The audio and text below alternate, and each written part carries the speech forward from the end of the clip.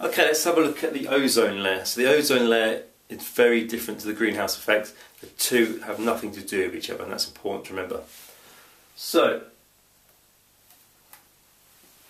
the ozone layer is in part of the atmosphere called the stratosphere, which is 10 to 50 kilometres above the Earth's surface. So this does not take place at ground level. We're in the troposphere. This is taking place right up in the stratosphere.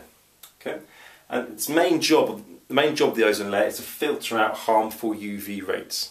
rays. So, the UV comes from our sun. Okay, this UV radiation, and it has different wavelengths. Okay, so the wavelengths are between 270 and 400 nanometers. And those different wavelengths are dealt with differently um, in the process.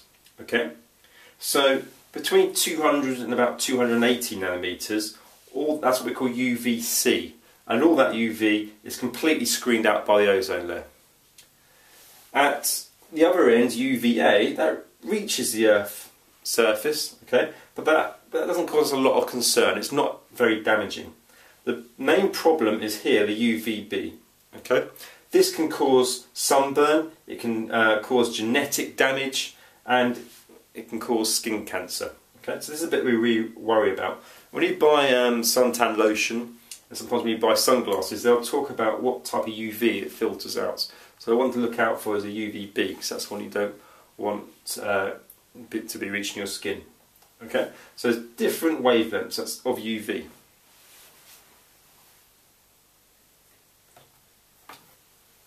Right, so ozone, we talk about ozone, we're talking about O3, the molecule O3, three oxygens joined together. So how is it made? Well first off, O2, oxygen gas, when that's hit by UV with a wavelength less than 240 nanometers, that high energy UV breaks up the O2 molecule to make two oxygen atoms. And those two oxygen, so those oxygen atoms then can go on and react with a different oxygen molecule to make O3. So that's how it's formed in the stratosphere.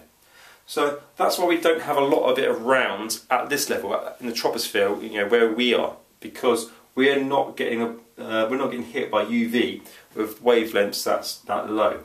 Okay, and that's important really not because that's very high energy. That would be very damaging to us. So the O2 actually filters that out, and in the process, it's making oxygen atoms. So that's why this gets screened out here in this, this region.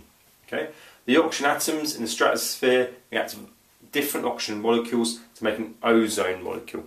Ozone at this level is actually not very good for you. It's very bad for your breathing. Um, it's, it's, not very good for you at all.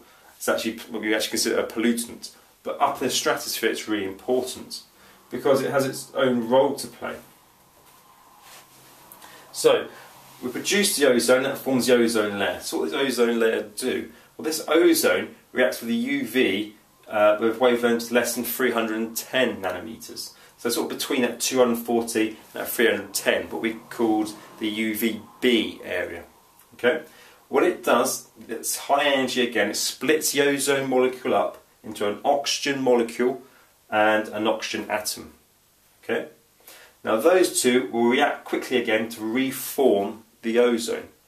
So what we have is the ozone is being formed like this at the same rate as it is broken. And it's in equilibrium. So O2, so oxygen gas with an oxygen atom is making an ozone molecule and that can go back again. So this equilibrium is naturally there and what it does is it filters out the, the UV so it doesn't reach us.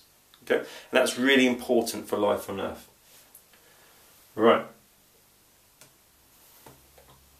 So,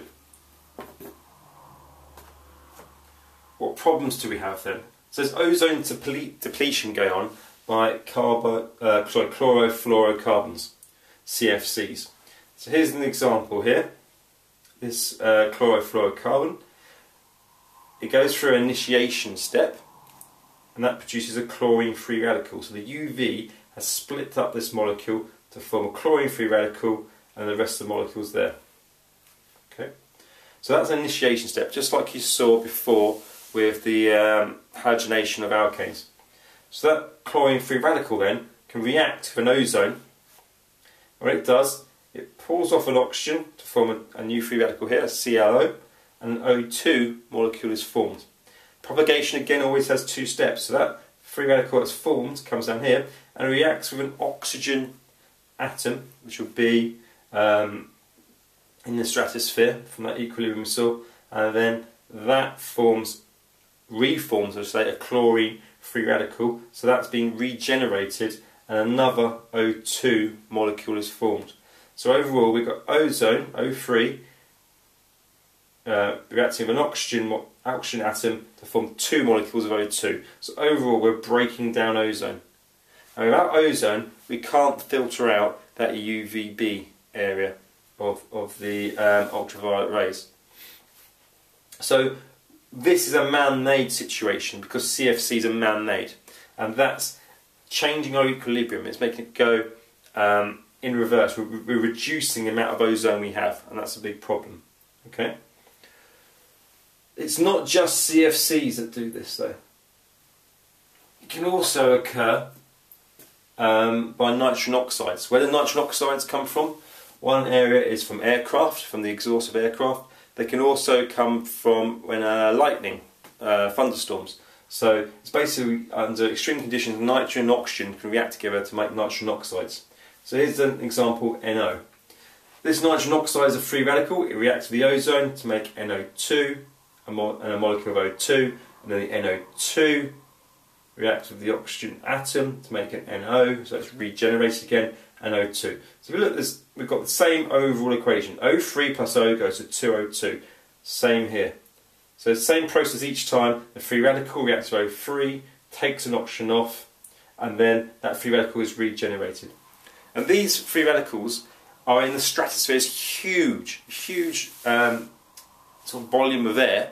So the chances of getting a termination step is really, really small. The chances of a chlorine free radical meeting another chlorine free radical are very small it's not in a test tube, it's in the stratosphere. So a chlorine free radical can react with hundreds of thousands of ozones before it terminates. And that's the, huge, that's the real problem, is that it keeps regenerating and keeps on reacting. The same with this nitrogen oxide. Okay? So ozone depletion is not limited to just chlorine free radicals and nitrogen oxides. Lots of free radicals, which is represented as R here, can react with ozone. It's the same pattern each time the free radical is regenerated. Okay, so R could be a chlorine free radical, or it could be any oxide of nitrogen. It's not just NO, it could be NO2, NO3, any of those could go on and react in the same way, and that leads to the depletion of ozone.